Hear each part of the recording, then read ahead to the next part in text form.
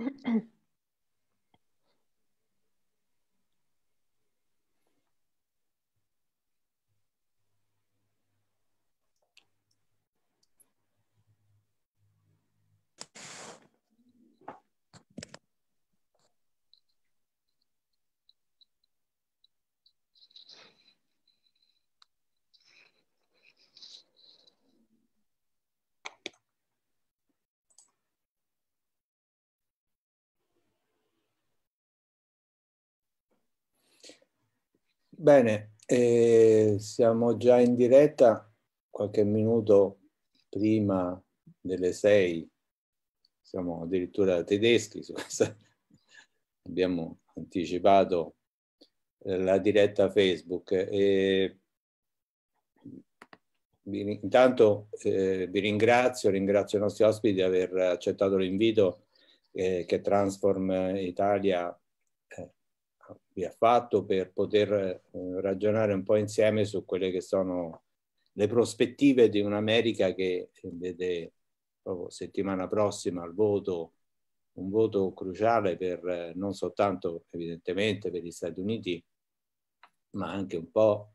eh, per quello che, che, è lo scenario globale. Quindi per questo anche noi eh,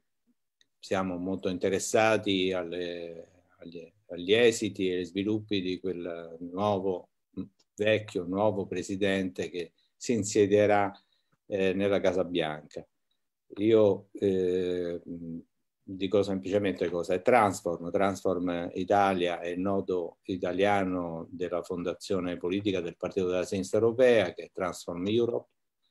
e e quindi come fondazione politica abbiamo un dovere quasi di seguire anche questi eventi perché riguardano direttamente e indirettamente anche lo scenario europeo e, e, e anche chiaramente anche quello italiano. E noi abbiamo eh, l'opportunità di eh, registrare anche questa, eh, questo incontro che poi ripubblicheremo anche sul nostro sito a cui vi rimando anche per seguire o quello che vi siete persi durante, durante l'incontro. Eh, do prima di tutto la parola a Franco Ferrari che è con noi della redazione di Transform, eh, diciamo sta seguendo da settimane, lo vedete adesso nella sua libreria di New York, sta seguendo per noi in diretta eh, gli sviluppi della campagna elettorale e, e, sarà lui un po' a introdurre diciamo, i temi eh, che verranno mano a mano sviluppati dai nostri ospiti. Franco, a te la parola. Sì, buonasera. Dicevamo in realtà da Nuova York, mi pare, come era abitudine di Ruggero Orlando, per noi che ce lo ricordiamo quando era corrispondente della RAI. Eh, sì, io ho seguito eh, da un paio di mesi, ho cercato di seguire in modo particolare la vicenda americana, le elezioni, la campagna elettorale e l'ho seguita da non, da non specialista di cose americane, quindi diciamo via via che seguivo le cose che scrivevo cercavo anche di farmi un'idea e di capirne un po' di più. Ci sono alcuni aspetti che mi hanno diciamo, colpito, comunque riflessioni eh, che sono emerse dal, dal, lavoro che ho fatto e volevo un po' anche sinteticamente accennarle un po' per dare l'avvio poi al, ai, ai, vari interventi. Eh, il primo dato che mi sembra emerso è che il sistema elettorale e anche il sistema istituzionale americano è come dire, pieno di, eh, di buchi, di contraddizioni, di conflitti eh, che lasciano aperto e che fanno sì che l'esito del voto, eh, infatti io ho scritto anche un articolo dicendo che chi vincerà le elezioni è una domanda che può avere una risposta, chi sarà il nuovo presidente degli Stati Uniti è una domanda diversa che può avere una diversa risposta. E in tutte queste settimane, le vediamo ancora in questi giorni, ogni giorno c'è un giudice che decide qualcosa su chi può votare, su come si vota, eh, su come funzionano le elezioni eh, postali, eccetera, è un altro giudice o la Corte Suprema che decide diversamente. È uno dei terreni di battaglia, prima ancora di conquistare il voto degli elettori, è eh, decidere chi potrà votare e chi no. E l'altro tema è quello del, del ruolo della Corte Suprema eh, che è diventato ancora più rilevante in queste settimane. Eh, c'è stata ieri il giuramento della nuova eh, giudice eh, molto conservatrice, integralista, scelta da Trump, che sposta ulteriormente i rapporti di forza. Quindi l'idea è di dire, una democrazia americana che ha eh, molti difetti, quantomeno, questi più evidenti, ma poi ce ne sono altri. E quindi credo che questo ponga già un tema di eh, riflessione. E sui due candidati, l'impressione che ho avuto que- eh, io è questa. Partiamo dal dato dei sondaggi. sondaggi eh, ci sono diversi siti che fanno da aggregatori, cioè fanno una media di tutti i sondaggi e più o meno anche oggi danno circa a livello federale l'8% di vantaggio a Biden e una prevalenza di Biden diversa, eh, più o meno rilevante in molti stati, eh, quelli decisivi, quelli ballerini, quelli che si spostano e che determinano poi alla fine eh, chi vince. Ecco, nella campagna elettorale eh, si è visto un Trump eh, alla Trump, cioè molto aggressivo, eh, in cui però secondo me vanno rilevate due cose. Uno, eh, n- non fare quello che abbiamo fatto un po' in Italia con Berlusconi, cioè non farsi eh, disorientare dagli aspetti più folcloristici e capire che lì dietro c'è un'agenda di destra coerente su molti, su molti temi che lui ha perseguito con diversi risultati in questi, in questi anni. E l'altro punto che mi sembra di poter dire, poi magari i risultati lo smentiscono, è che è stato un presidente di minoranza, uno dei presidenti eletti con meno voti, tranne i casi in cui c'era un terzo candidato, è un presidente che ha consolidato fortemente la sua base, la base repubblicana, ma che eh, non ha eh, esercitato un'egemonia, cioè una capacità di spostare l'insieme del sistema politico e dell'opinione pubblica sulle sue posizioni, cosa che invece riuscì a fare eh, Reagan, che eh, fece sì che gli stessi democratici in qualche modo eh, si orientarono sulla linea liberista. Per quanto riguarda Biden, mi sembra che tutti ritengano, ritengano un candidato abbastanza debole, non con grande carisma, ma che in un qualche modo, essendo debole, non suscita entusiasmo, ma non suscita neanche un'opposizione che invece era stata quella che in qualche modo ha fatto perdere la Clinton eh, quattro anni fa. Eh, è un presidente forse più centrista, meno nel, nel, panorama democratico, meno spostato sulle posizioni liberiste de, eh, della Clinton ed è un, un eh, candidato che mi pare si presenti appunto come l'anti-Trump, quello che raccoglie i voti di tutti quelli che non vogliono eh, Trump. Devo dire, leggendo anche la stampa libera, le media libera, CNN, il New York Times, eh, faccio fatica a dire un tema sul quale eh, dire, Biden si è caratterizzato, anche se poi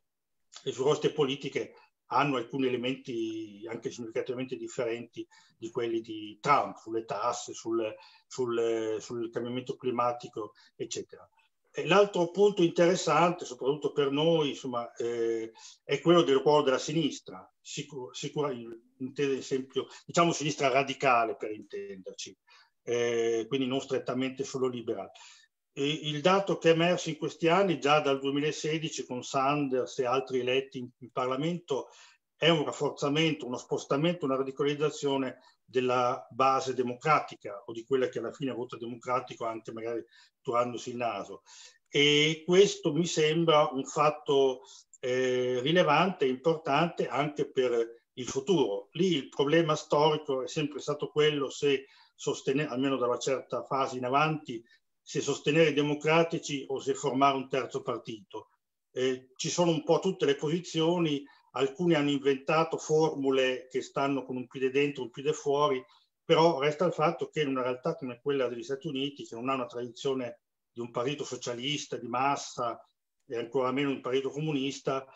il tema del socialismo è diventato un tema oggetto di discussione pubblica, eh, i giovani hanno orientamenti diversi e così via. Ecco, mi sembrano questi alcuni, alcuni dei temi eh, su cui si può cominciare un po' a riflettere, avere il vostro contributo e capire meglio cosa è successo, cosa sta succedendo e cosa potrebbe succedere dopo il 3 novembre.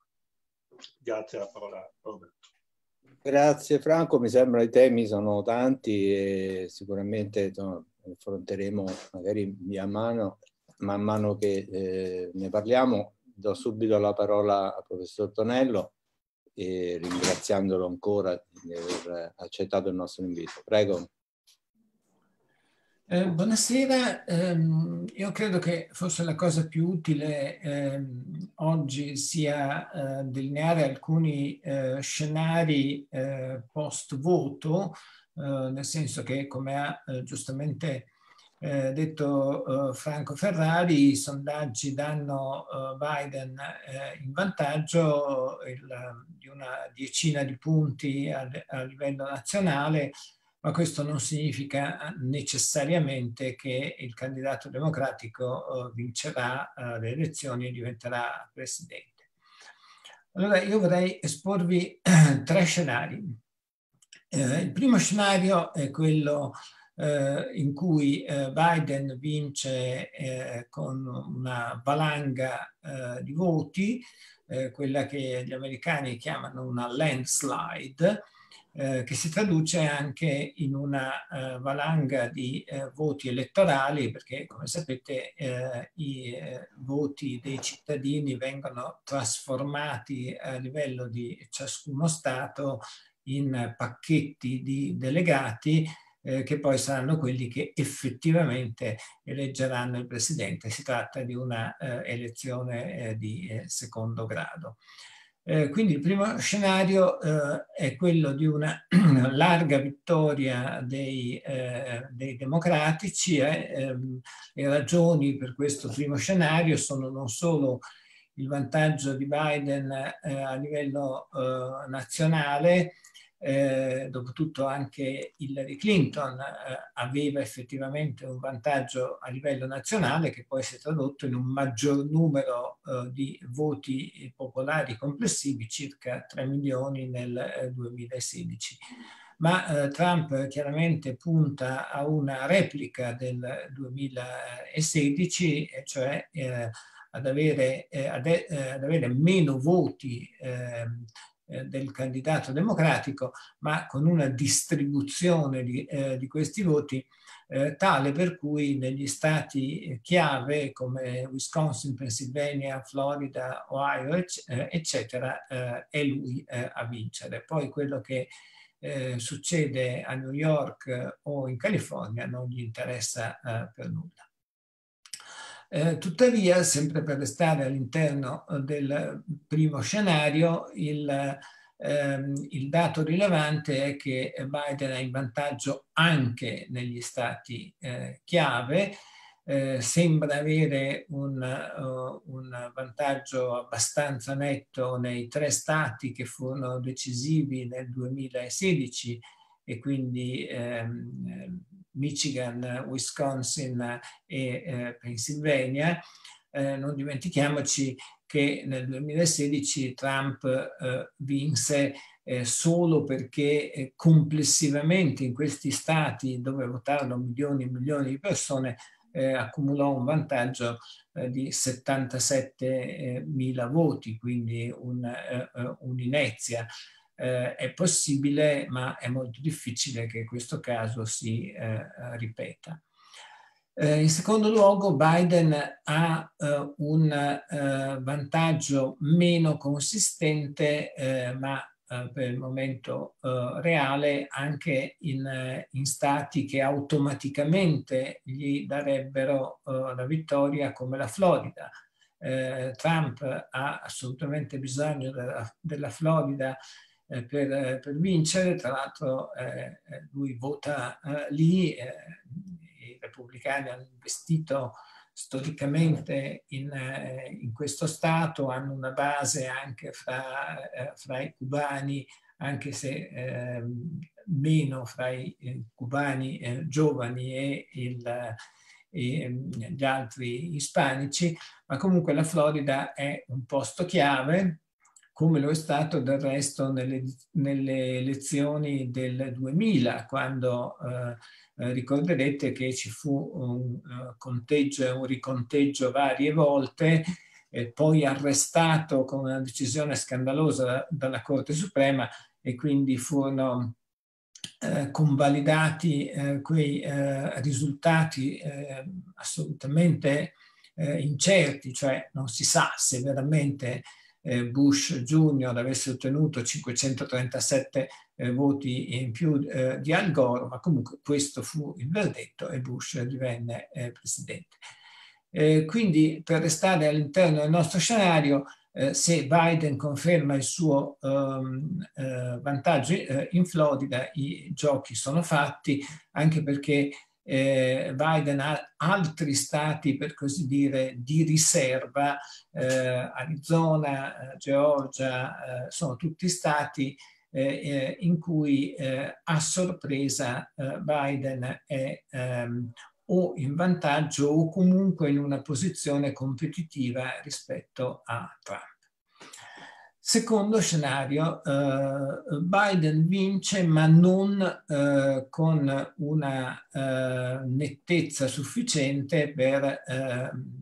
mettere fine eh, alle discussioni. Eh, diciamo. per esempio è possibile che Trump alla fine recuperi in una serie di stati attualmente incerti.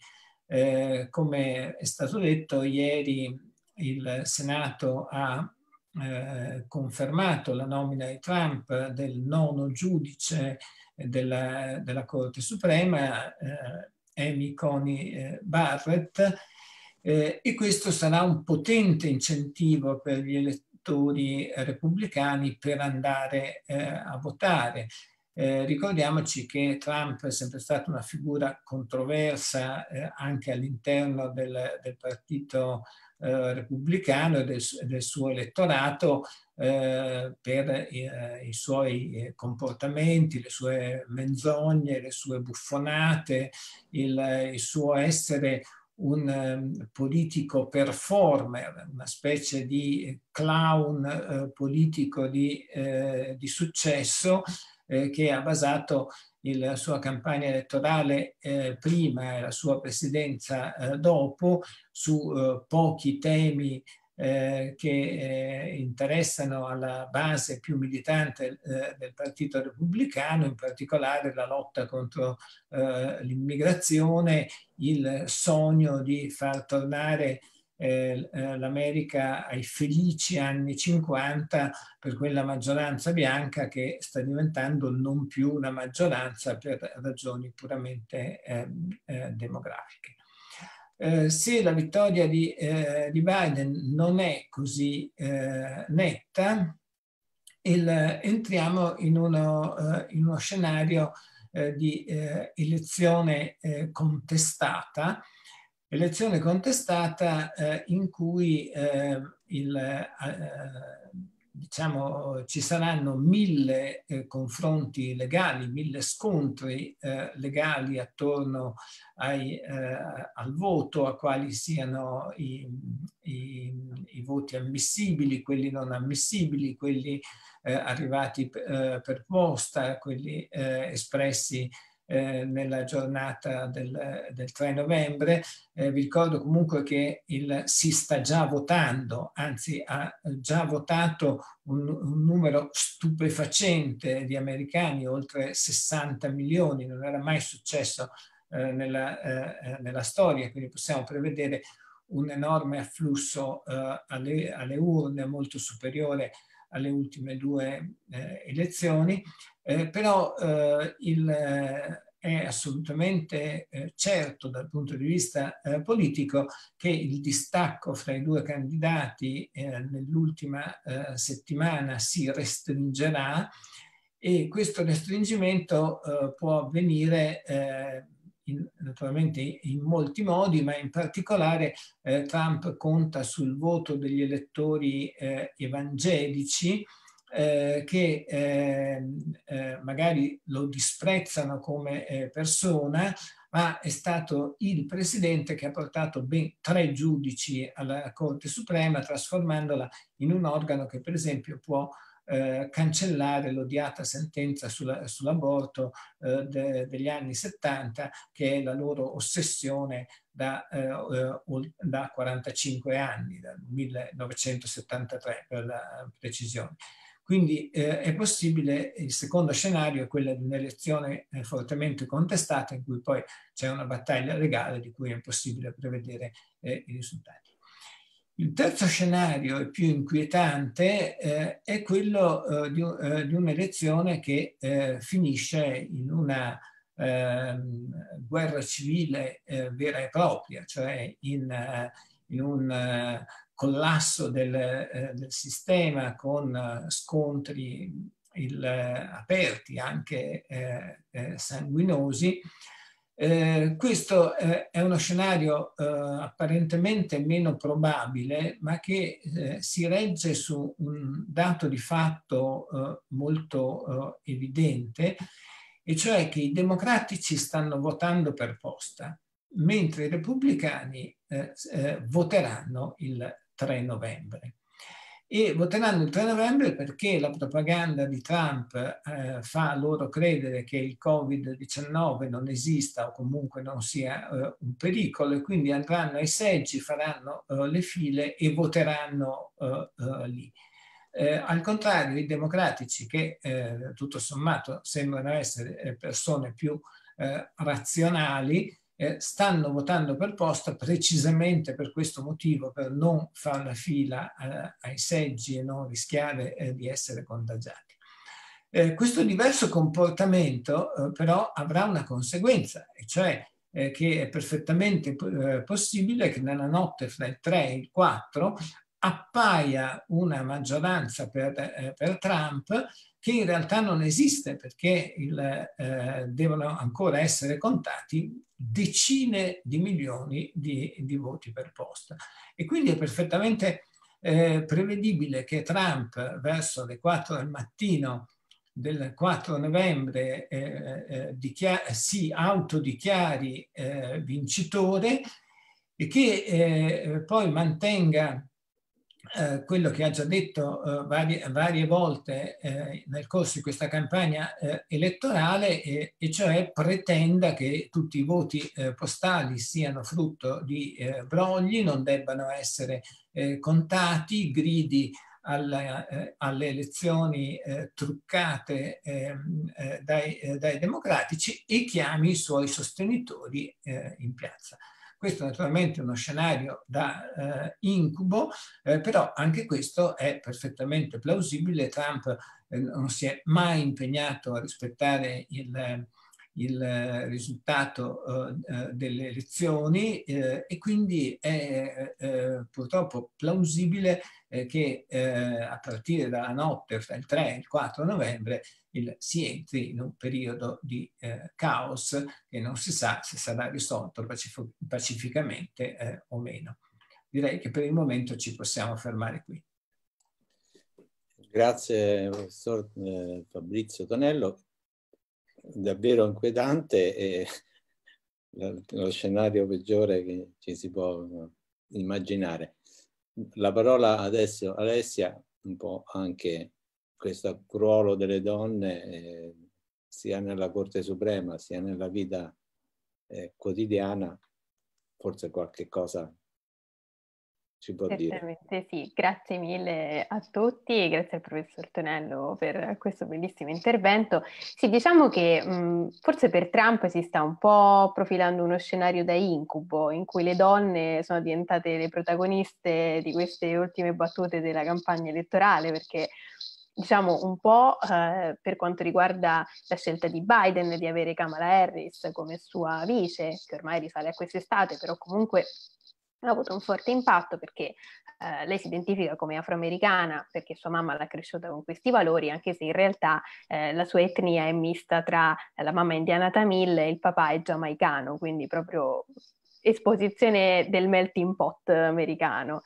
E poi adesso appunto in questi ultimi giorni, da quando è morta la giudice Ruth Bader Ginsburg, al centro della discussione politica americana, insieme alle elezioni, c'è proprio questa scelta del giudice della Corte Suprema, perché come appunto dicevamo prima, aver nominato il terzo giudice durante il suo mandato presidenziale, cosa, un evento record, diciamo, ben tre giudici ha, ha potuto nominare Trump alla Corte Suprema. Questo ha fatto sì che si sbilanci completamente l'equilibrio a favore dei conservatori. Quindi Barrett appunto una figura un po' A me un po' inquieta, sono sincera, è una personalità un po' sempre molto controllata, eh, potrebbe insomma essere, riservare parecchie sorprese. Sulla sentenza Roe vs. Wade, sull'aborto di cui parlava il professor Tonello,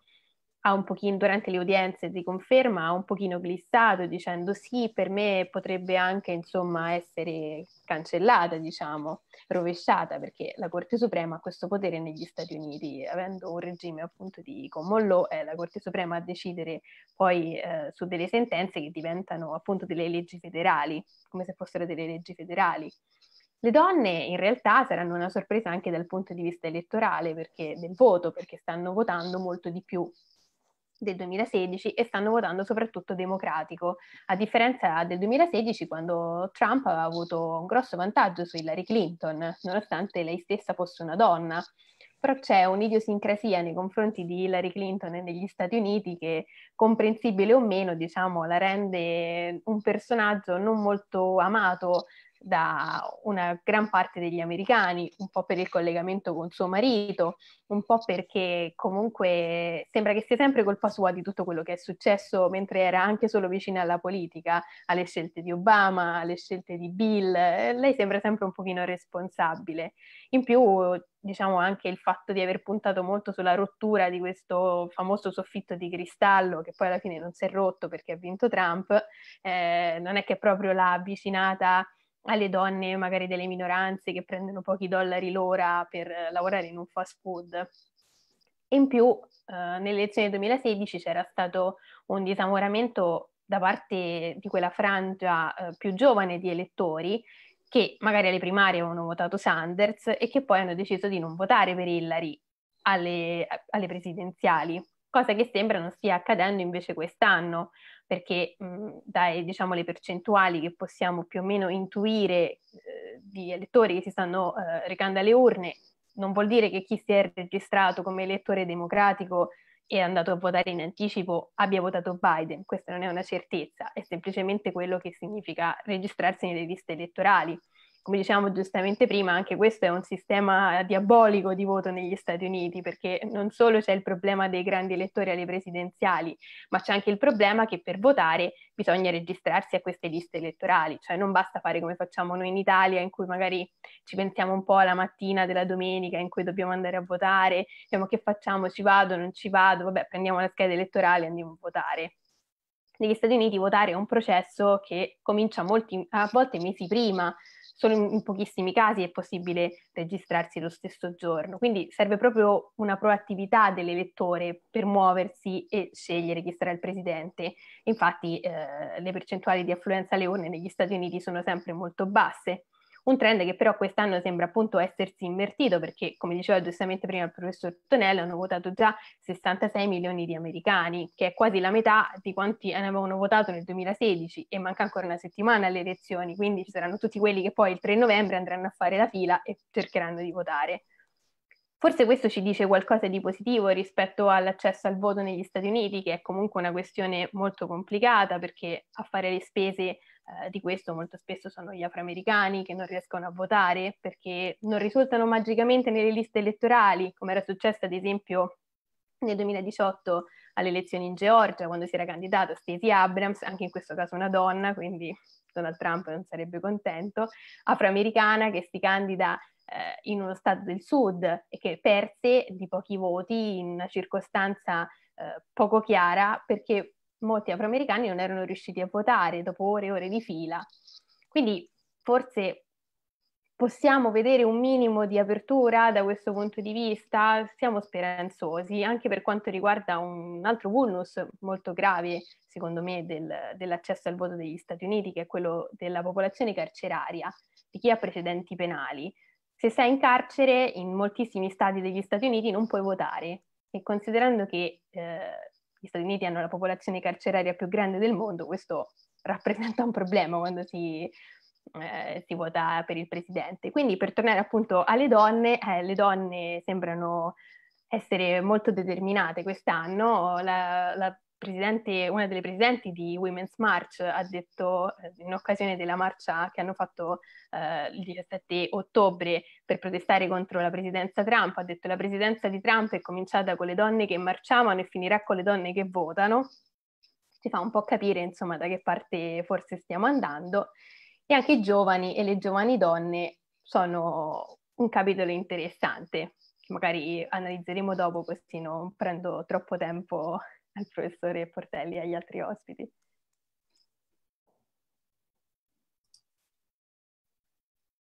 Grazie Alessia, non ti ho presentato, sei un giornalista di Left e curi anche un sito, The Union, eh, che seguiamo anche noi e quindi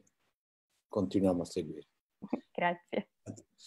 Volevo adesso dare la parola a Sandro Portelli, eh, non lo presento perché lo conoscono tutti, è un grande appassionato di Stati Uniti, di musica e penso che insomma, le questioni eh, di, della crescita anche dei, di un movimento come Black Lives Matter e, e appunto il movimento femminista in America possa in qualche modo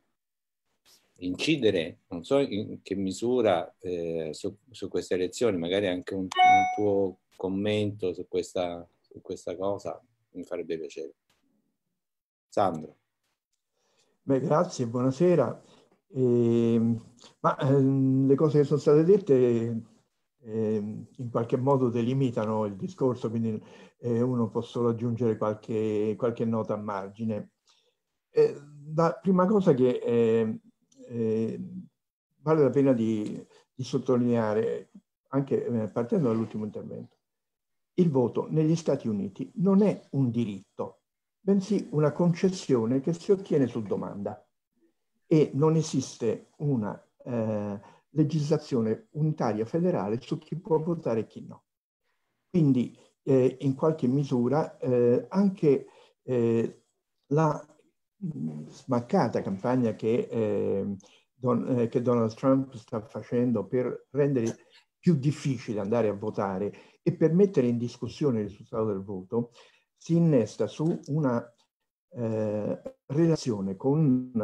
il processo elettorale che è infinitamente, beh, infinitamente no, ma che è molto più labile di quella che avviene in paesi in cui il voto è il diritto fondante del cittadino. È paradossale, gli Stati Uniti eh, rivendichino, eh, definiscano come democrazia tutti i paesi in cui si può votare e eh, in realtà appunto mh, siano uno dei paesi in cui eh, il diritto di voto è più, ehm, ehm, è più soggetto a traversie e difficoltà. E anche per questo appunto non, è, non, non solo non possono votare i carcerati, ma ehm, in molti stati basta che tu hai avuto eh, una condanna eh, con la condizionale a, a, a, due mesi per una trasgressione statale e per, stradale e il diritto di voto. Quindi eh, la, ehm, eh, la strategia di Trump è intanto quella di rendere il voto particolarmente difficile. E questo non solo per,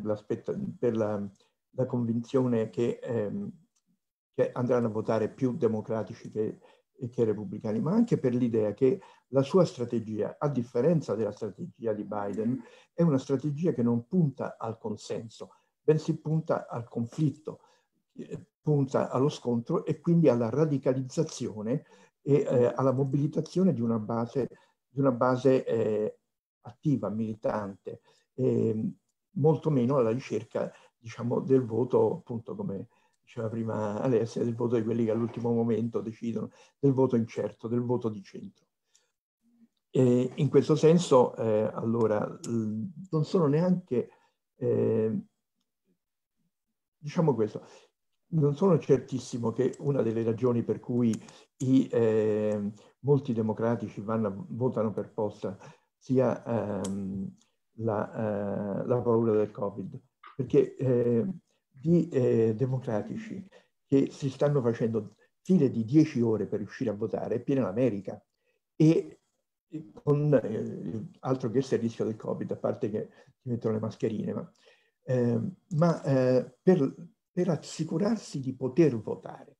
perché non sono affatto certi che alla fine ci si riesca e quindi è bene muoversi presto. Ricordiamoci Trump addirittura mobilita eh, gruppi di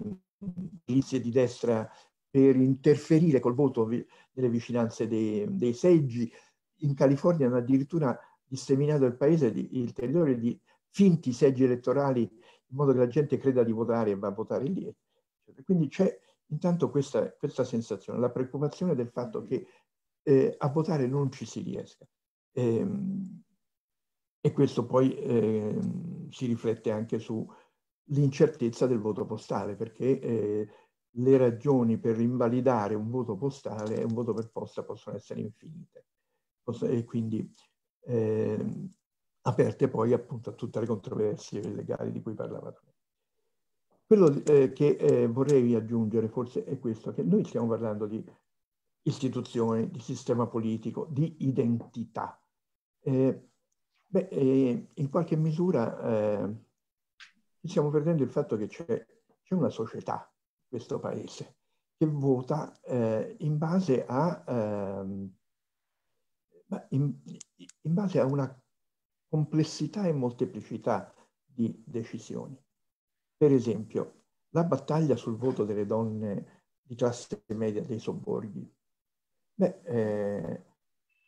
ci si aspetta che in quanto donne votino eh, in un certo modo, ma in quanto proprietarie di case che pagano tasse su, sugli immobili è possibile che abbiano anche altre, altre motivazioni. È molto interessante il fatto che eh, Trump ha insistito più di una volta sul fatto che lui non permetterà che si costruiscano eh, quartieri di edilizia popolare nelle vicinanze dei sobborghi dove si vive lui, quello che lui definisce il sogno americano. Cioè eh, c'è una, ehm, un chiarissimo appello alle donne di ceto medio dei sobborghi, che peraltro votano molto. Ehm, quindi non è affatto detto che i latini votino solo in quanto latini e le donne votino solo in quanto donne, ma c'è una complessità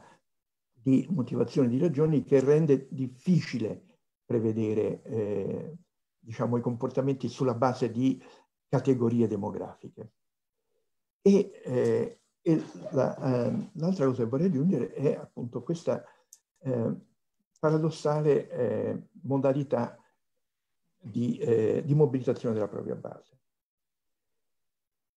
Ora, la nuova giudice suprema è sicuramente una che, eh, se, se, ne avesse l'occasione, parteciperebbe alla ehm, cancellazione del,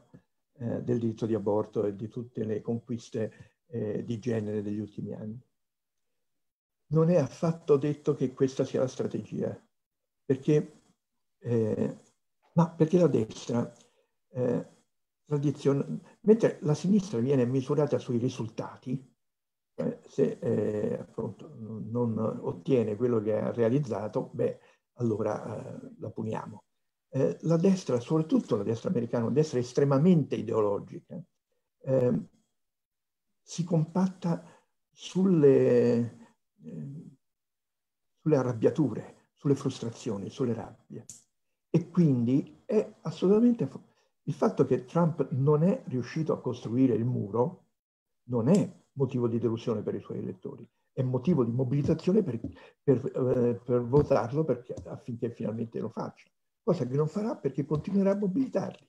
Eh, il fatto che Trump non è affatto riuscito a rilanciare la politica, per esempio, del carbone nei, negli stati degli Appalachi che frequento e conosco, non significa necessariamente che i minatori voteranno per Biden. Primo perché Biden non ha una grande attrattiva per il mondo del lavoro, ehm, ma anche perché, ehm,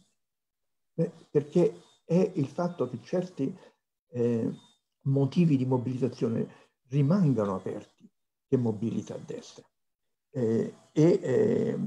e, in questo senso, allora, eh, in che modo funziona Black Lives Matter? Ma eh, anche qui è difficile pensarlo, no? Eh, diciamo che in buona parte la sconfitta di Hillary Clinton è derivata anche dalla mancata mobilitazione degli afroamericani. E eh, le rivolte, le manifestazioni, le proteste di questi mesi, da un lato, eh, indicano forte, un forte elemento di mobilitazione, anche se, voglio dire, eh, non è detto che mobilitino, per esempio, il, eh, il vasto e forte ceto medio afroamericano, che magari invece è spaventato da, da, certe, da certe, forme di, eh, di, mobilitazione, di proteste e di, e di, presenza in strada. Ma non è detto affatto che quelli che sono andati in strada vadano a votare. Quindi, eh, mentre è eh, possibile che eh, la, eh, la, paura delle violenze del, semplicemente la carta del razzismo che eh, Trump sta giocando da anni eh, possa, possa mobilitare. E sulle paure, sulle frustrazioni, sui fallimenti su quello che non c'è che si mobilita la, la destra di Trump. Io poi vorrei aggiungere un, un ultimo codicillo ai tre eh, scenari di, eh, di Fabrizio, perché hanno una cosa in comune che è estremamente inquietante, che come che vada il, alle elezioni del, di novembre. Poi per altri tre mesi Trump rimane alla Casa Bianca e ci rimane con tutti i poteri. E no, io non ho idea delle cose che può fare in quei tre mesi. Quindi in questo senso io, ehm, da una parte, beh, la ragione ti dice ma è possibile che un paese di gente normale voti un pazzo come quello? L'hanno già fatto. Eh, la preoccupazione è che come che vada eh, anche in caso di sconfitta e di sconfitta riconosciuta i colpi di coda che Trump può dare sono estremamente pericolosi. Grazie Sandro. Eh, non aggiungo nient'altro, eh, do subito la parola a Paolo Ferrero, vicepresidente del Partito della Sinistra Europea eh, per lui chiaramente anche un giudizio un po' più politico di quella delle, degli scenari. Ciao a tutti e tutte, grazie uh-huh. a Transform e a Roberto per aver organizzato questo colloquio e grazie agli amici e alle amiche che mi hanno preceduto perché a me fa sempre piacere partecipare a iniziative in cui imparo qualcosa, diciamo, e quindi non so se il mio sarà un intervento più politico. Io considero la conoscenza, il, il sapere, il, l'imparare delle cose il primo passo eh, della, della, politica. E io eh, voglio innanzitutto partire da un elemento eh, che, che è presente sullo sfondo, non è direttamente presente nelle presidenziali, ma noi in virtù della, del Covid eh, sostanzialmente non abbiamo avuto le primarie eh, democratiche fino in fondo, nel senso che Sanders ha corso per un tot e poi nel, nel contesto che si è determinato e certamente in una situazione in cui presumibilmente non vinceva le primarie eh, Bernie Sanders, però si è ritirato. Perché sottolineo questo? Perché secondo me è interessante un aspetto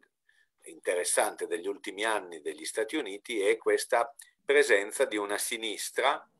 ehm, una sinistra sinistra, cioè una sinistra che pone il tema dell'alternativa, del cambiamento, che noi in Italia potremmo definire social comunista anarchiche, cioè eh, non, non, si può definire in termini ideologici, ma certo eh, sul piano dei contenuti è molto netta. Allora, questo a me sembra un fatto da sottolineare fortemente, ehm, perché nel mio lavoro da vicepresidente della sinistra europea, una delle cose che ho lavorato a fare e siamo riusciti a fare è di eh, allacciare i rapporti con la sinistra eh, del Nord America, statunitense e canadese, in forme non episodiche. E, ehm, sono molto contento che siamo riusciti a fare sia delle iniziative comuni eh, di dibattito con eh, i compagni e le compagne eh, dei Democratic Socialist of America, ma anche con uh, i Progressive Democrats of America, il compagno Minsky, figlio del notissimo economista e, il direttore generale, con Our Revolution, con Jacobin, con tutti gli altri. E secondo me una cosa molto interessante che fino a qualche anno fa, eh, quando parlavi con qualcuno della sinistra eh, statunitense, sostanzialmente quando gli chiedevi dove siete, ti diceva aria diciamo di, di, San Francisco, insomma il pezzo San Francisco-Los Angeles sulla California, poi Chicago e poi un pezzo di costa est, New York, Boston, eh, Washington, qualcosa così. Ora che i Democratic Socialist of America, la formazione politica di cui fa parte la, la Ocasio-Cortez, siano presenti quasi in tutti gli stati è una cosa eh, enorme eh, perché non so se ci sono nel Montana, ma ecco, eh, ci sono quasi dappertutto. E questa cosa qui è enorme perché eh, rompe un meccanismo in cui alcune grandi città vedono la presenza della sinistra, magari di una sinistra radicale, ma poi il resto degli, degli Stati Uniti è tabula rasa. E questo secondo me è un grande fatto che parla del futuro e l'altro grande fatto secondo me è che nelle, proiez- nelle primarie della scorsa volta, ma anche di queste e nelle proiezioni, larghissima parte dei millennials nelle eh, primarie votava Bernie Sanders in una proporzione enorme perché i voti a Sanders nelle primarie dei millennials erano pari ai voti che andavano alla Clinton ma anche a quelli che eh, sommati a quelli che avrebbero votato a Trump. E quindi eh, come dire, c'è una connotazione del voto eh, giovanile che è significativamente spostata a sinistra eh, perché gente che non si nasconde di considerarsi socialista eh, nella, diciamo nel, nel, negli Stati Uniti eh, post-maccartismo non è una cosa da poco, diciamo, alle elezioni. E, e, quindi io questo lo volevo sottolineare fortemente perché secondo me questo sta sullo sfondo, non è direttamente la partita delle presidenziali, ma è una partita rilevantissima eh, perché la possibilità di costruire una sinistra negli Stati Uniti in forma non episodica, non solo di campagna, ma che tenga assieme avanguardie dei diversi movimenti, eh, pezzi di sindacato militante, pezzi dei community organizer, insomma, anche pezzi delle chiese, perché ci sono le chiese, gli evangelicals, che sono completamente reazionari e fondamentalisti e poi c'è una parte delle chiese storiche, eh, diciamo mm. protestanti, eh, che sono invece eh, su una posizione radicale. E quindi io penso che questo sia un fatto molto, molto, molto importante, che è una vera novità rispetto al, al passato. Le altre due cose che volevo sottolineare, eh, la prima è questa, voi eh, sono stati fatti degli scenari tutti inquietanti, diciamo, sul passaggio io l'impressione, mi posso, posso dire eh, che, che, penso che Trump può far casino fino a un certo punto,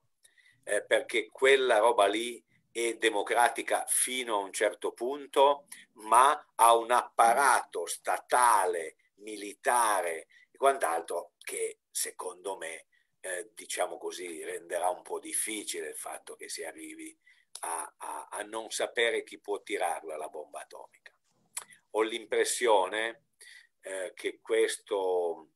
Lo, lo, dico anche perché nella storia degli Stati Uniti questo aspetto che alla fine la quadrano è avvenuto sempre, dal maccartismo a Nixon in avanti. Mh, diciamo, eh, eh, siamo più noi in Europa che alla fine eh, ci siamo beccati il fascismo, il nazismo e, e, e robe simili. E quelli alla fine l'hanno tenuta. Ho l'impressione eh, che il peso di, di, di, di, questo potere militare e quant'altro mm, renderà com, diciamo, scarsamente praticabile un'ipotesi che la principale potenza mondiale si ritrova eh, per i capricci di, di, del suo presidente in una condizione ingestibile. Quindi io non ci credo tanto. La cosa che però vorrei sottolineare invece è una, è sulla politica estera. Io penso che eh, e spero che cambieranno delle cose. Io voterei Biden se fossi negli Stati Uniti, non avrei dubbi, ma secondo me non verrà rovesciata la politica estera fatta da Trump. E la pongo come questione anche ai nostri interlocutori. Cioè io ho l'impressione che qualche idea che c'è in giro, e cioè Trump ha distrutto la globalizzazione, ma adesso si riparte, secondo me non sta né in cielo né in terra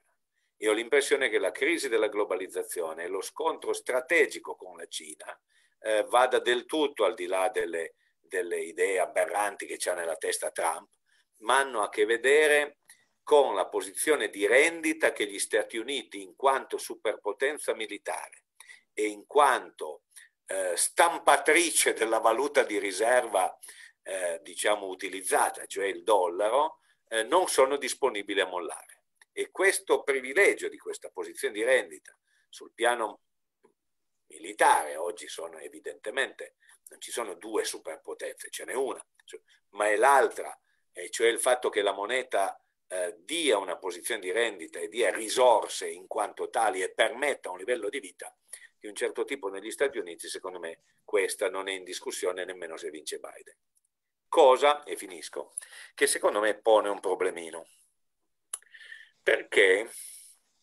noi abbiamo pensato e abbiamo visto negli anni 50, 60, 70 uno sviluppo economico che, che è stato legato anche ad uno sviluppo delle possibilità progressiste.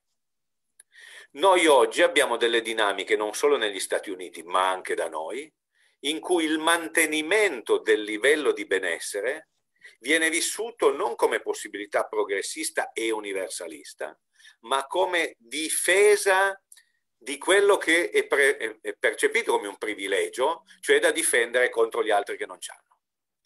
Ora, questo nodo secondo me eh, apre un problema grande, perché se lo sviluppo economico e il progressismo sono stati legati in qualche modo nei gloriosi anni del keynesismo, oggi rischiamo una divaricazione che va al di là delle aberrazioni di Trump eh, tra mantenimento dello status e capacità, eh, diciamo così, di, di una soluzione progressista. Cosa che secondo me ci pone un problema, lo pone negli Stati Uniti, ma ce lo pone anche a noi, perché l'invenzione di una ipotesi di sinistra che sia universalista e non particolarista dentro la crisi della globalizzazione, secondo me, è la sfida che ha Sanders, che abbiamo noi, che hanno tutte le sinistre in giro per il mondo e che dalla soluzione di questa deriva la possibilità che la sinistra torni a giocare una partita, perché altrimenti il rischio è che vince uno, vince l'altro, ma su alcune questioni fondamentali diciamo, è la geopolitica che vale più della politica. Fine. Grazie Paolo. Eh, prima di dare di nuovo la parola ai nostri ospiti, volevo chiedere a Franco di commentare anche lui. Visto da, eh, da, sì, da qualche, considera- da Nuova York. Eh, qualche considerazione. Una cosa che volevo sottolineare è che noi parliamo di diciamo, tutte le invenzioni per di fantasia ne hanno parecchia dei repubblicani per cercare di manipolare il voto sostanzialmente. Ecco, però eh, diciamo, mh, per non dare un giudizio che sembra moralistico, che i repubblicani manipolano perché sono cattivi, i democratici sono buoni. In realtà i democratici per decenni hanno goduto dell'esclusione del voto dei neri al sud, i Dixiecrats, cioè eh, molti stati del sud votavano democratico, i repubblicani erano il partito di Abramo Lincoln e, e quindi eh, qualche trucco un po' manipolatorio l'establishment democratico l'ha usato anche nelle primarie eh, contro Sanders. Quindi eh, diciamo credo che il motivo per cui oggi i repubblicani eh, sono più spinti a manipolare il voto, è da un lato che hanno, i nemici sono più individuabili, per cui i poveri, i neri, le minoranze sono anche territorialmente eh, individuabili, quindi eh, come hanno fatto da qualche parte, cancellano i seggi elettorali nelle zone in cui ci sono le minoranze e mantengono i seggi elettorali dove votano i più ricchi sostanzialmente. E questo deriva dal fatto che hanno fatto una scelta che però è in parte precedente a Trump, che Trump ha radicalizzato, ma che è più di lungo periodo, di una coalizione bianchi, tendenzialmente più ricchi, tendenzialmente più anziani, eh, che è per ragioni sociologiche, per ragioni demografiche, destinata a diventare minoranza. E quindi, come dire, avendo scelto questa strategia di fondo, essendosi arroccati attorno a questa, a questa coalizione elettorale, in un qualche modo eh, hanno quasi, dal loro punto di vista, quasi l'obbligo di manipolare il voto. Su quello che sugli scenari, io sono devo dire, abbastanza d'accordo con eh, Paolo Ferrero. Eh, credo, ecco, diciamo, ci sono dei meccanismi che a un certo punto possono essere incontrollabili, nel senso che si aprono, se il voto è molto eh, ravvicinato fra i due e ci sono dei meccanismi di contestazioni legali, eccetera, diciamo c'è una percentuale di imprevedibilità, perché poi ci sono, non tutto si riesce a controllare e, ehm, e, quindi è possibile che uno scenario anche abbastanza fosco di scontro avvenga. Credo però che eh, sia più prevedibile che ad un certo punto non solo diciamo, i poteri militari, ma anche il potere economico. Non è che dall'altra parte, fosse in campo Sanders,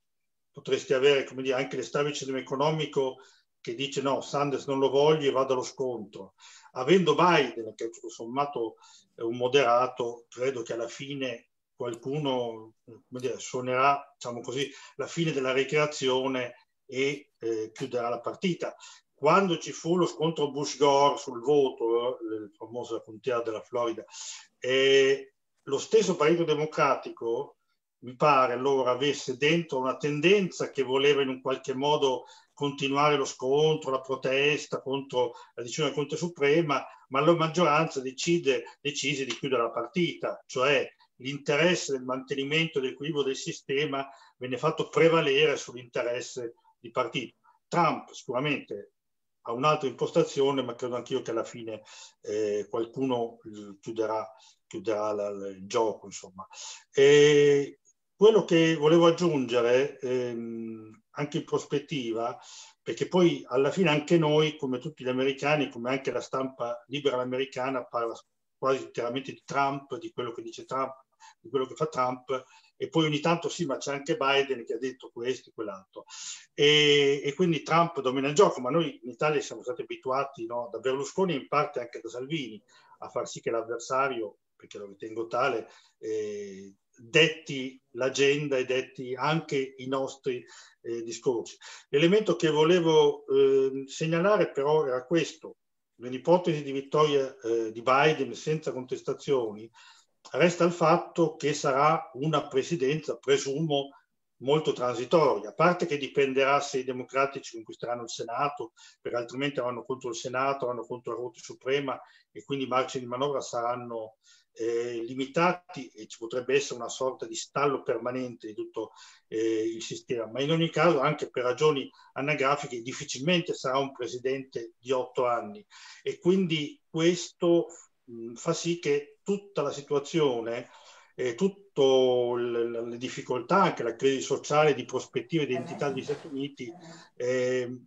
non saranno che Trump ha evidenziato e radicalizzato non si chiuderanno con la vittoria di Biden e saranno comunque aperte a eh, eh, una, una, prospettiva eh, ancora piena di, di, di conflitti e di, e di, instabilità. Ecco, credo che questo sia un altro elemento che vada valutato. Grazie Franco. Eh, subito la parola al professor Tonello per eh, il secondo giro di, di riflessione su questi temi. Penso che insomma, ci sia... Eh, io penso che mm, il, tutto quello che ha detto Franco Ferrari, in particolare eh, il fatto che mm, il trumpismo non finirà con, con Trump eh, e che quindi eh, basta pensare al, fatto che eh, ha nominato ben tre giudici alla Corte Suprema, la Corte Suprema il, è nominata eh, a vita e i, i, tre giudici nominati da Trump sono tutti e tre molto giovani, il, hanno, meno, hanno meno di 50 anni e quindi è perfettamente possibile che restino in carica addirittura 40 anni, cioè due generazioni. Vedremo uh, un marchio della presidenza Trump eh, a lungo, eh, anche se il Trump fosse sconfitto eh, martedì prossimo e comunque, come diceva Sandro, Sandro Protelli, in ogni caso il, rimane in carica legalmente con tutti i suoi poteri fino al 20 gennaio, ore 12, e quindi possiamo e dobbiamo aspettarci dei, dei colpi di coda eh, che oggi non siamo neppure in grado di eh, immaginare. Eh, c'è una cosa invece su cui ehm, non sono d'accordo eh, rispetto a ciò che diceva Franco eh, Ferrari, cioè eh, il fatto che a un certo punto eh, qualcuno fini, eh, fischierà la fine della ricreazione. Eh, intendendo che diciamo, l'establishment del partito eh, repubblicano si renderà conto che Trump è indifendibile e quindi lo abbandonerà a se stesso. forse, ma questo poteva avvenire anche nel 2016 il, eh, il, eh, Partito Repubblicano invece ha abbracciato Trump il, anche quando avrebbe avuto la possibilità eh, di fermarlo. Eh, comunque è rimasto appiccicato uh, a Trump in questi quattro anni di, eh, di presidenza. Il, I senatori il, eh, non nascono certo oh, trampisti, no? non esistono eh, senatori eletti nel 2016 eh, per merito eh, di Trump, o meglio, tutti i senatori eh, repubblicani, la maggioranza del Senato, 53 eh, senatori, eh, con qualche vago distinguo, con qualche eh, battuta. Eh, Susan eh, ehm, eh, Collins del Maine non ha votato per il giudice, ehm, il Amy Connie Barrett, qualche piccolo distinguo, ogni tanto si è fatto strada, è durato un, pa- un paio d'ore, ma sta di fatto che il Partito Repubblicano è oggi il partito di Trump e quindi eh, non vedo bene chi possa decidere di fischiare la fine della ricreazione e dire vabbè adesso è il momento in cui gli adulti devono uh, tornare il, a uh, guidare il gioco. Il, um, i, repubblicani in, in questo momento il, sono disperati eh, per la uh, possibilità di perdere il, Senato ancora più di perdere la, la presidenza, perché sanno perfettamente che eh, se davvero il Senato tornasse nelle mani eh, eh dei democratici non potrebbero eh, far eh, morire la presidenza Biden eh, ancora prima che davvero inizi. Ricordiamoci che siccome l'intero governo, l'intero strato superiore della burocrazia, tutti i giudici, gli ambasciatori devono essere approvati dal Senato, se i repubblicani conservano il, ehm, il controllo uh, de, uh, del Senato, sostanzialmente Biden ci metterà mesi eh, solo per eh, riempire le caselle vuote, come del resto successe a Obama a, a suo tempo. Quindi io ho l'impressione che il, um, i repubblicani siano più propensi a fare la terra bruciata eh, davanti a un eventuale ehm, eh, presidente Biden eh, se riusciranno a mantenere il controllo eh, del, eh, del, Senato, che è incerto, mentre quello della Corte Suprema, come abbiamo visto, eh, adesso è più che certo e per un eh, lungo periodo. questo naturalmente nell'ipotesi del primo scenario, cioè che la, um, la vittoria di Biden sia chiara e venga accettata senza le complicazioni che abbiamo descritto prima. Grazie professore. Giro la, il microfono virtuale ad Alessia Gasparini. Prego. Eccomi. Allora, ehm, tante cose sono venute fuori. Io non so perché, ma quando si parla della parte di transizione, diciamo, della presidenza dopo che si è votato il 3 novembre fino a gennaio, viene sempre in mente uno spot eh, in cui Bill Clinton si aggirava da solo nella Casa Bianca, come per dire che ormai l'avevano lasciato solo perché era la fine del suo secondo mandato, quindi si doveva fare il caffè da solo alla macchinetta, giocava da solo a golf, quindi è un po' questa l'immagine. Di certo Trump non farà questo in nessun modo, anche nel caso in cui dovesse perdere. Mm, io vorrei tornare un attimo indietro al 2018, perché secondo me ci dice molto rispetto ai temi di cui abbiamo parlato adesso, alle uh, prospettive della sinistra americana e anche un po' a cosa ci si prospetta la prossima settimana e i giorni successivi quando poi si conteranno eh, questi fatidici voti elettorali. Il 2018 è stato un anno rivoluzionario da pari punti di vista, diciamo, ah, se non rivoluzionario comunque molto importante per la storia politica americana, perché non solo, torno alla questione delle donne, il congresso eh, ospita il più, gran, più alto numero di donne di sempre, ma abbiamo visto appunto l'affermarsi di personaggi come Alexandro Ocasio-Cortez che facevano parte eh, di, quella, di, quella, parte appunto di politica di sinistra che è di sinistra effettivamente all'europea come la, la consideriamo noi perché diciamo che Biden forse non si può considerare un politico di sinistra, possiamo considerarlo un centrista, anche un centrista che in certe occasioni della sua lunga carriera politica ha avuto delle posizioni di centrodestra, di cui diciamo ha anche chiesto scusa perché quando è stato messo di fronte ai suoi errori passati durante anche l'ultimo dibattito che ha fatto con Donald Trump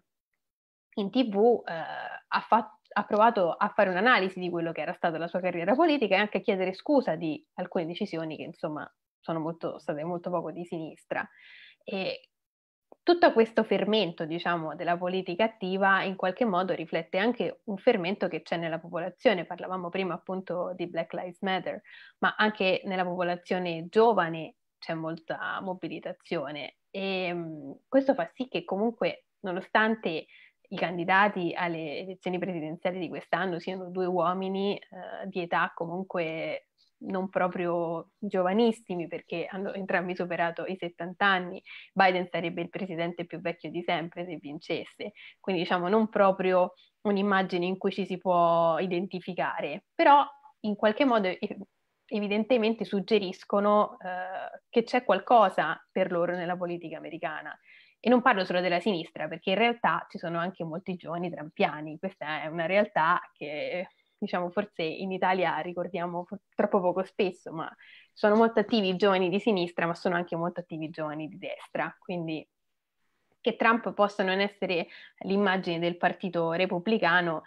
questo secondo me è indubbio. Tra l'altro eh, si è parlato anche molto di questo quando era scoppiata l'epidemia di Covid alla Casa Bianca. Eh, uno dei fedelissimi del partito, Mitch McConnell, ha detto io non vado alla Casa Bianca da due mesi perché non si capisce bene qua la gestione del coronavirus come la stiamo prendendo. Quindi infatti da quando poi era risultato positivo Trump, eh, molte persone si sono ammalate. Quindi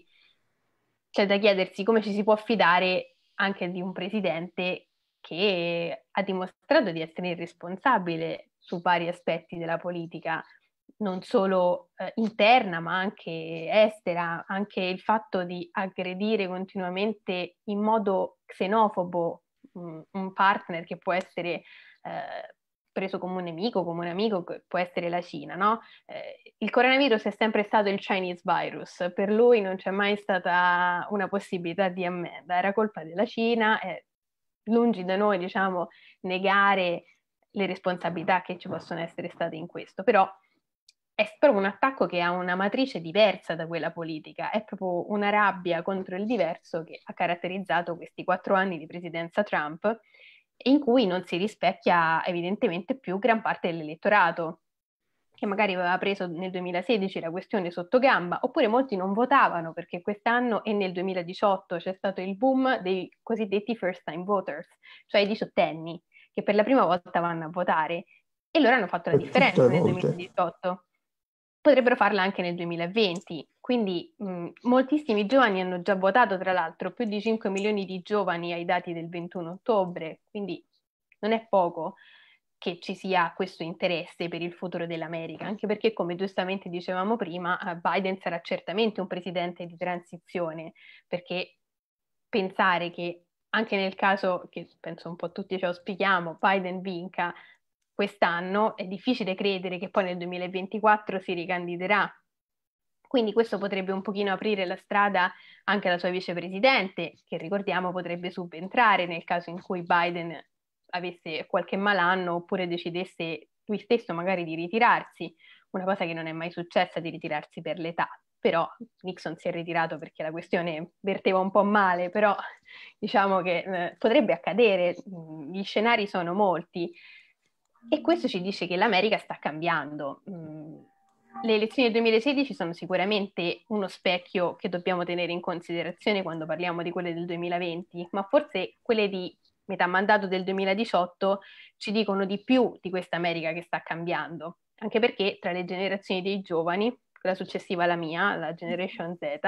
tantissimi sono figli di, di migranti, quindi fanno parte delle minoranze.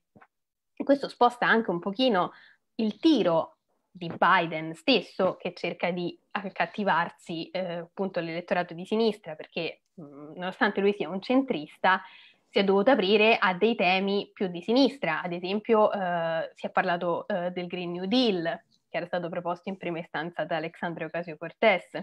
è stato chiamato a rispondere di affermazioni contraddittorie sul fracking, quindi mh, anche sulla politica energetica. I giovani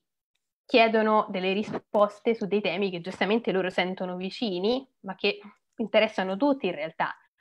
E, eh, uno, dei, dei, uno dei problemi, diciamo, forse più grandi economici della popolazione statunitense che ha studiato è quella di ripagare il prestito studentesco. E si chiede di riflettere su questo, si chiede di riflettere sul sistema sanitario americano, si chiede di riflettere sull'ambiente, quindi temi che sì interessano i giovani in quanto giovani, ma che interessano poi tutti, non sono temi eh, così identitari, diciamo, come rimproverarono eh, Hillary Clinton di aver fatto campagna elettorale nel 2016.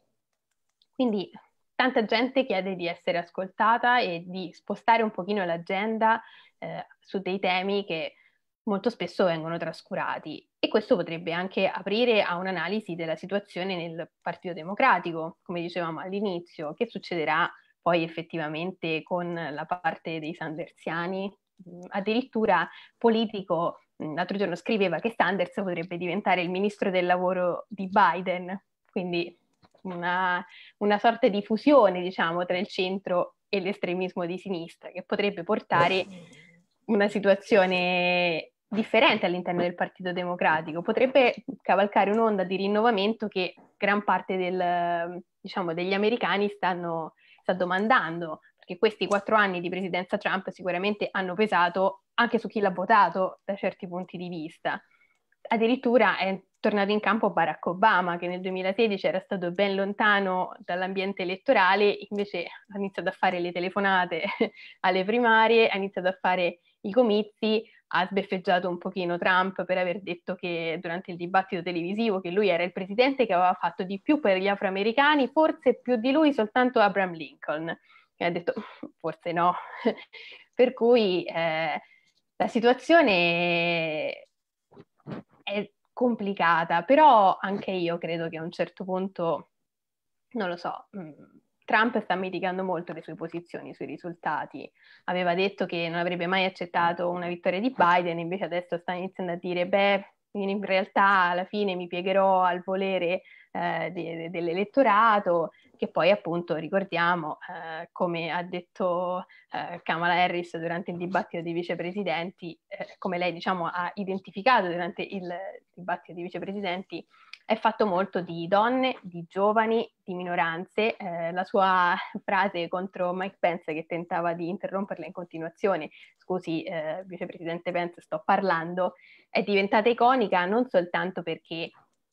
è stata interpretata come una,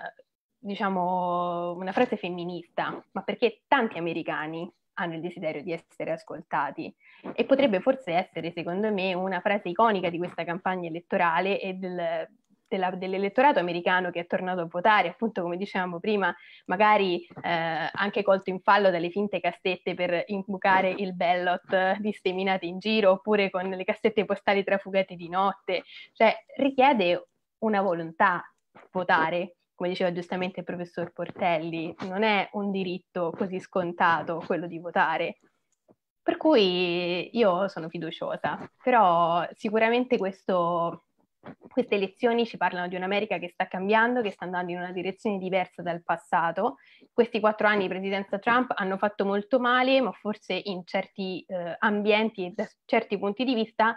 hanno fatto bene perché hanno risvegliato un interesse per la politica che magari da un certo punto di vista era sopito, considerando che appunto, come diceva prima il professor Portelli, gli americani non, non votano in blocco, cioè non è che le donne votano solo in quanto donne, oppure eh, gli ispanici votano perché sono una minoranza, molti ispanici sono per esempio repubblicani, quindi eh, non si può considerare un Moloch eh, l'elettorato americano, una moltitudine di persone che votano seguendo eh, qualcosa che però li spinge ad muoversi verso un obiettivo.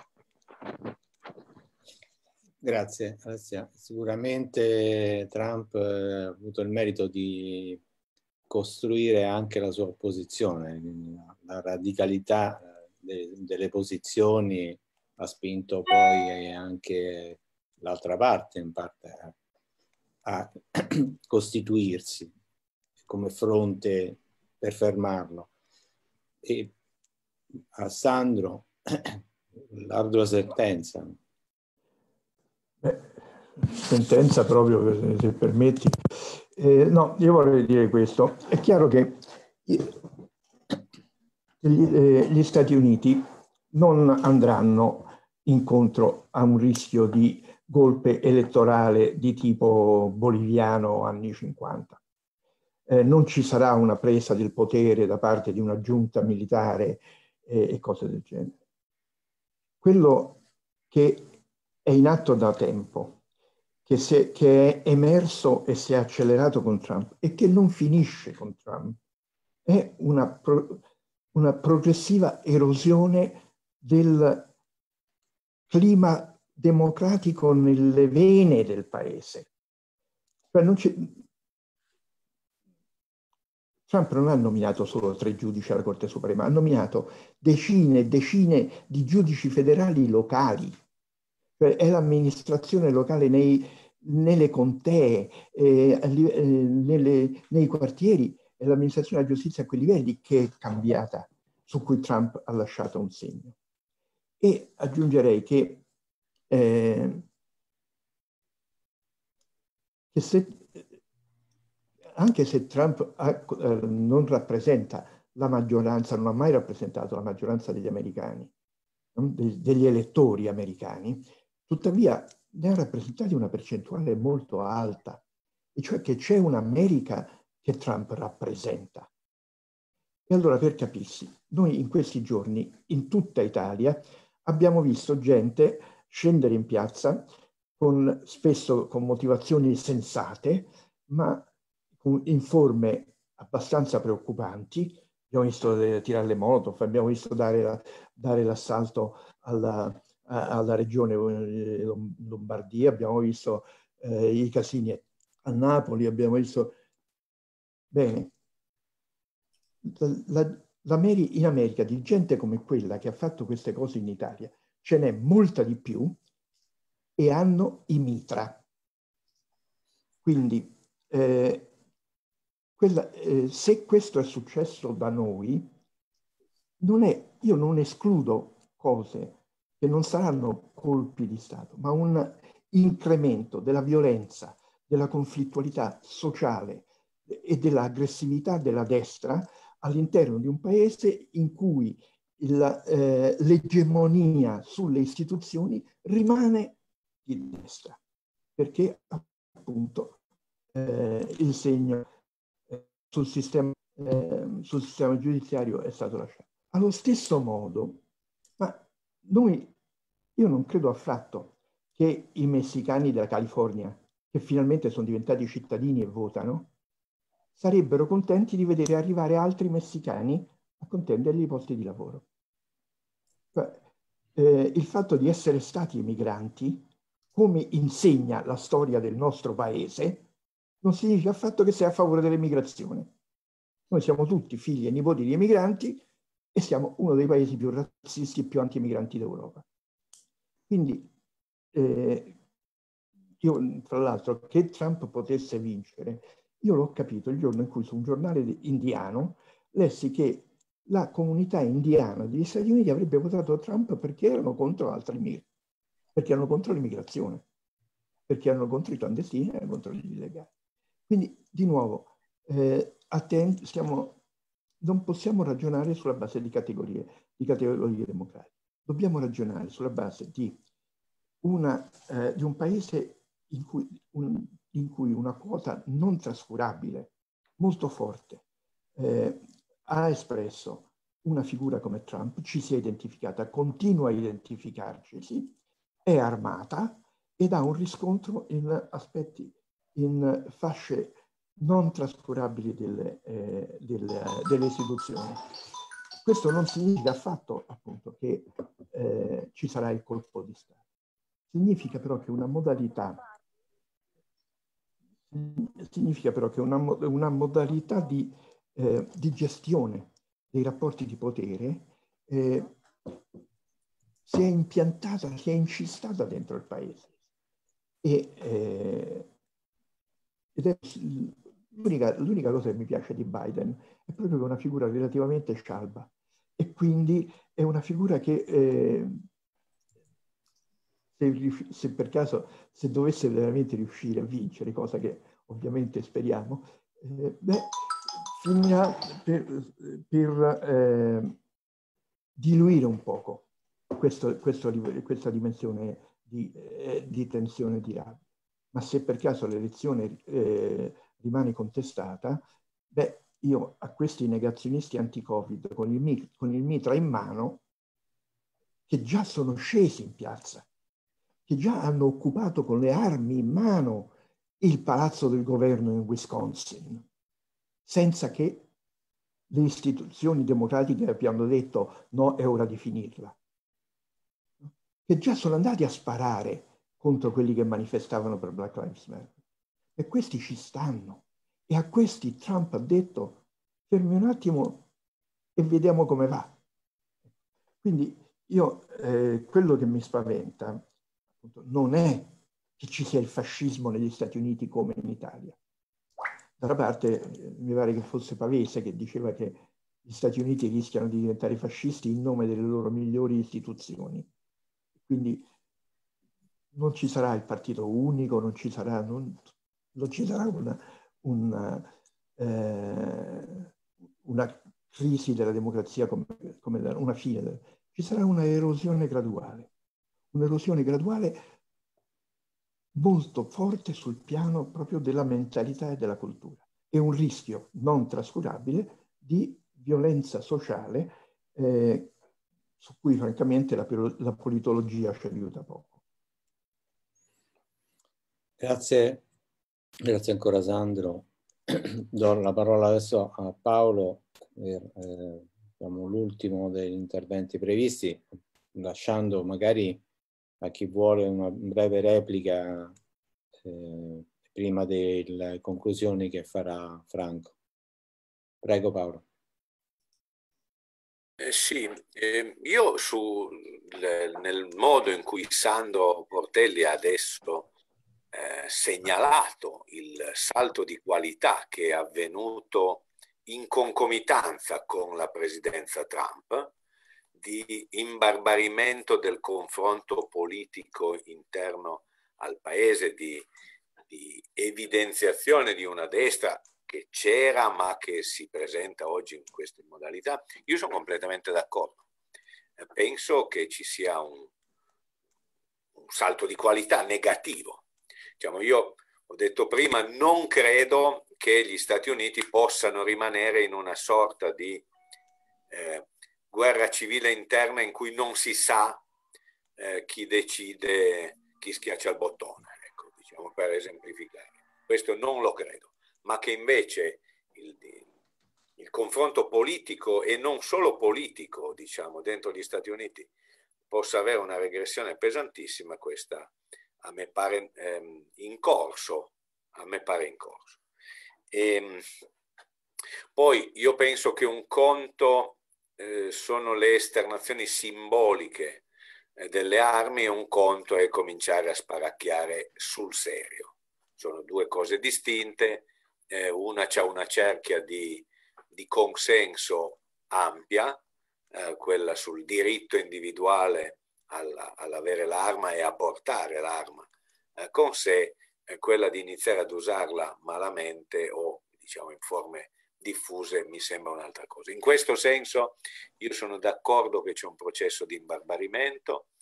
che il trampismo non è una parentesi, ma è una parte dell'autobiografia americana statunitense che emerge in forme particolarmente eh, virulente eh, e che è molto simile a quello che accade da noi e che è accaduto da noi, eh, perché anche le nostre destre populiste non sono una parentesi, ma emergono, eh, diciamo così, nel corso della storia. Quindi il trampismo come elemento di longue durée eh, degli Stati Uniti in una fase in cui, questo a me sembra il punto, ci sono sia elementi di crisi di identità, eh, perché non c'è più diciamo, quest'idea dell'essere assediati, eh, c'ha un elemento di retorica, ma è evidente che esprime anche una, una percezione. esprime una diversità di relazione tra gli Stati Uniti e il mondo che in qualche modo eh, per certi versi, diciamo così, se dentro il reganismo c'era un'idea di universalismo post-comunista, no? del mercato dappertutto e che in qualche modo eh, la globalizzazione e la lunga ondata di questa roba qui, adesso questo fatto invece che confermare l'egemonia e la posizione di rendita statunitense la sta mettendo in discussione e quindi c'è come se gli Stati Uniti fossero vittime della loro stessa vittoria sul piano mondiale e non eh, hanno difficoltà a, a, gestire questo in, in forme avanzate, perché la modalità con cui emerge questo è la difesa chiusa, eh, gretta eh, di, di, una costruzione di soggettività con, con identità, identità, veramente da, da, da comunità chiusa, in questo senso da destra classica, destra estrema. Quindi questo a me sembra un problema, sottolineo, è il problema degli Stati Uniti, ma è il problema di tutta Europa. Cioè il problema di tutti i paesi avanzati in cui il nodo del mantenimento dello standard di vita è messo eh, in discussione eh, dal combinato disposto tra globalizzazione in cui altri attori ci sono, scarsità delle risorse e eh, distribuzione diciamo così, delle risorse in forme diverse a livello mondiale. Da questo punto di vista io penso eh, che i problemi che abbiamo come sinistra negli Stati Uniti e come sinistra in, in Europa, in Italia, sono pressoché gli stessi. Cioè abbiamo il problema di dare una soluzione positiva al fatto che non gli ultimissimi, ma i penultimi, cioè quelli che hanno qualcosa da perdere, rischiano eh, di avere delle, delle, delle, propensioni, diciamo, di tipo difensivo eh, bar- barbarico reazionario. Questo qui è il nodo. E, e, in questo però, poi finisco, eh, sottolineerei come questa attitudine delle giovani generazioni a, eh, quindi quelli di meno di 30 anni, insomma, eh, che erano la stragrande maggioranza della gente che stava ai comizi di Sanders, eh, non erano gli ex sessantottini da Sanders, erano i giovani, i giovani. Questa cosa qua secondo me segna nel, nei problemi che anche Sando adesso segnalava dicendo mi fa paura questo, però questo segna un elemento di speranza non piccolo, perché mentre il voto di quelli della mia età, che hanno 60 anni, tende ad andare a destra il voto operaio pensionati avanti, sto fatto che l'unico movimento mondiale che c'è, eh, diciamo, eh, generazionale, è Friday for Future, dove viene posto il problema invece di una radicale democratizzazione messa in discussione sull'ambiente avanti, a me fa ben sperare, perché eh, cento anni fa i giovani manifestavano per entrare in guerra nelle radiose giornate di maggio del 1915. Adesso i giovani, eh, come movimento largo, eh, non stanno dietro a Trump, ce n'è anche dietro a Trump o dietro a Salvini, ma la cosa larga invece è un'idea universalistica più in sintonia col Papa che non, che non, che non con Trump. In questo terrei l'elemento di speranza. E finisco. Una delle domande che veniva poste, delle questioni, era il, il, il, fatto di stare dentro o fuori il Partito Democratico o costruire un polo alternativo. Io la cosa che ho visto partecipando un po' alle iniziative della sinistra negli Stati Uniti o discutendo con loro anche quando sono stato al, al, al Left Forum a New York, che raggruppa la parte diciamo più esterna al Partito Democratico. Io la cosa che ho visto è un certo intreccio nel fatto che condividono tutti gli stessi contenuti, eh, per cui ehm, al Left Forum di New York, dove non ce n'era uno, diciamo così, iscritto al... insomma, non, non, non è che fosse caratterizzato per essere il pezzo della sinistra del Partito Democratico, però la moglie di Sanders era una che, che interveniva al Forum eh, ed, e veniva ehm, diciamo applaudita, non veniva fischiata. E così come la Ottavio Cortés, l'Alessandra, è entrata nel Partito Democratico, si è iscritta per poter fare le primarie. Eh, non è che fosse una storica iscritta al Partito Democratico, e così altre. Allora a me sembra che la cosa positiva che c'è oggi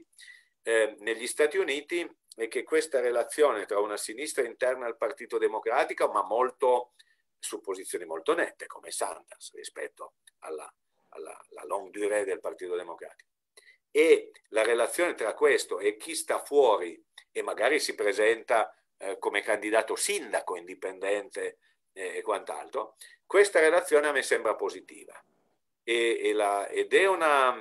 ed è un, io la voglio dire così, la, la, sinistra negli Stati Uniti, eh, noi abbiamo sempre avuto un po' l'impressione che fosse molto debole, perché il sistema elettorale tendeva a cancellarlo. Ma la mia impressione è che la sinistra negli Stati Uniti, complessivamente intesa,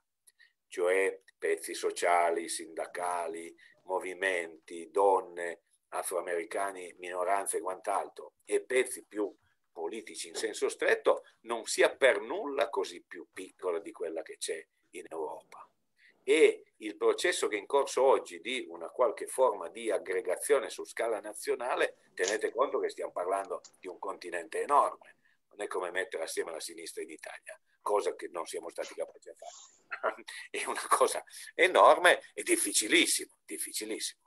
E, e, però questi per me sono gli elementi di speranza e quindi vedo le cose che dice Sando Portelli, però vedo anche gli elementi di speranza e mi sembrano tutto sommato maggiori, anche perché questa volta Trump ha governato quattro anni e quindi un po' di gente che la volta scorsa, eh, diciamo così, l'aveva votato, mettiamola così, sulla fiducia, e qualche problema su alcuni nodi mi sembra sia emerso e quindi non sarei così pessimista, diciamo. Grazie Paolo. Prima di dare la parola a Franco, volevo sapere da Alessia, Sandro, se volevano in un minuto, se non ci sono altre considerazioni, invece do subito la parola a Franco Ferrari. Posso dire una cosa? Vai, sulla questione, dei, del,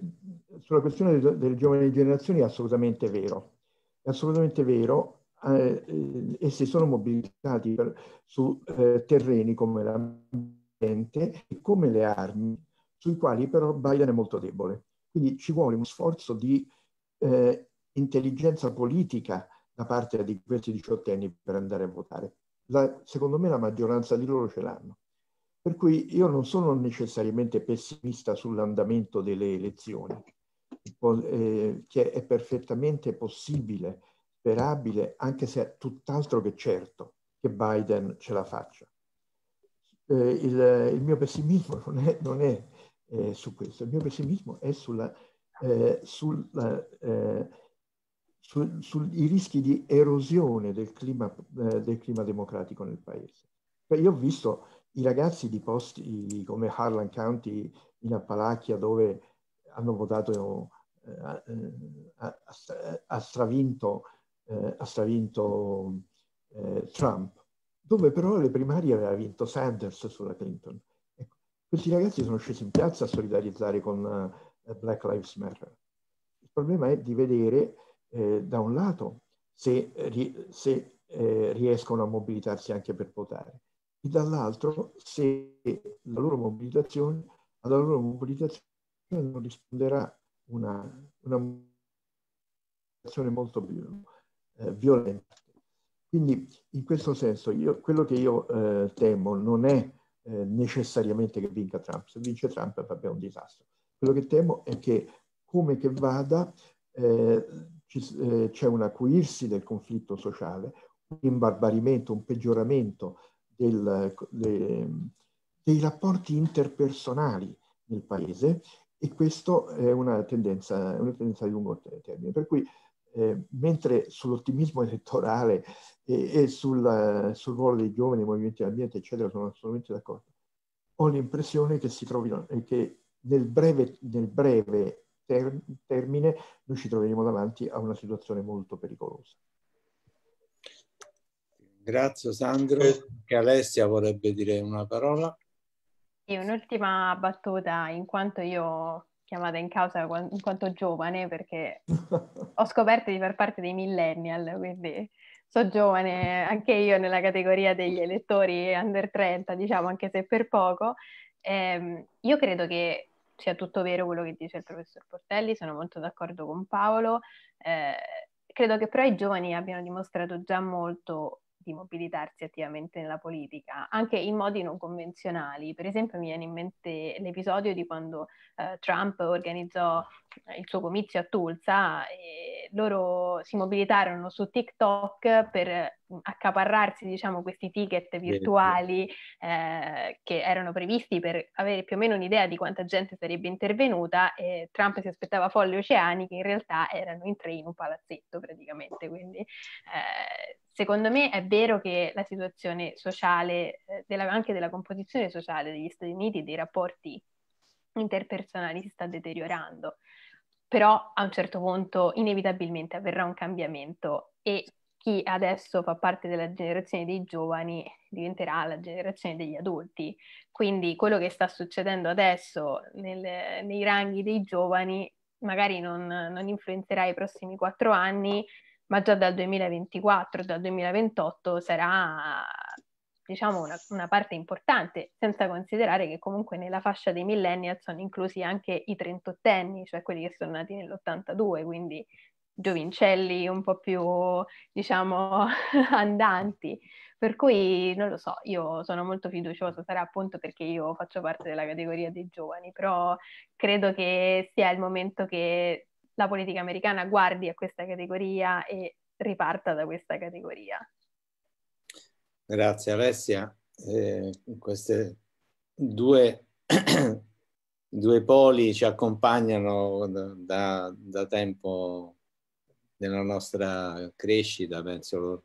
pessimismo e ottimismo sono parte della nostra storia. Penso. Comunque io non dico altro perché c'è Franco che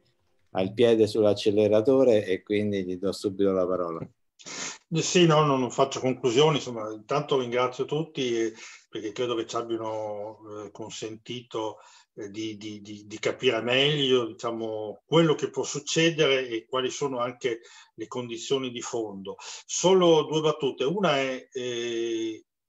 diciamo, il sistema elettorale istituzionale americano, di cui ho anche evidenziato i molti limiti, le molte contraddizioni, ha questo fatto però di essere per certi aspetti più aperto a, anche a forze nuove, eh, perché eh, lo stesso mm. Sanders ha sempre fatto, eh, è diventato sindaco del, della sua città contro il sindaco uscente democratico eh, si è sempre candidato come senatore indipendente, anche se poi ha lavorato con i democratici in Senato, e quindi era contemporaneamente candidato democratico per la presidenza e candidato indipendente per eh, il Senato. Quindi questo meccanismo per cui si può stare dentro e stare fuori eh, negli Stati Uniti apre anche delle possibilità. D'altronde lo stesso Trump non era un repubblicano, eh, diciamo, è diventato repubblicano nel momento in cui è diventato presidente eletto dai, eh, dai repubblicani. L'ultima cosa è eh, si apre eh, comunque una prospettiva interessante perché degli Stati Uniti diciamo che in un qualche modo sono sempre stati, sono tuttora il, il, punto cardine di un assetto diciamo, capitalistico di un certo tipo e anche di imposizione di certe politiche al di fuori, pensiamo all'America Latina, ma non solo, di, di, di imposizione di certe politiche al di fuori di essi, eh, diventino perlomeno permeabili a correnti, tendenze, idee diverse da quelle che tradizionalmente hanno considerato i grandi partiti in una situazione mondiale molto magmatica, in prospettiva potrebbe essere appunto anche questo un elemento, se vogliamo, di, eh, di ottimismo. Direi che con questo eh, transform, adesso domani eh, c'è un articolo eh, sulla parte della politica estera, proverò a dire un po' quelle cose che cam- potrebbero cambiare, quelle che probabilmente non cambieranno e poi qualcosa seguiremo eh, la notte de- del voto, che peraltro potrebbe anche diventare più notti e più giorni. E, e intanto ringrazio comunque tutti perché ci hanno dato un buon eh, contributo a capire meglio questa situazione. Grazie ancora, grazie a tutti veramente. Eh, ci sentiamo sicuramente. Seguiteci sul sito e sulle nostre pagine Facebook. Buonanotte. Grazie a voi. Ciao, ciao, ciao. Grazie. Grazie, arrivederci. Ciao Sandro. Ciao.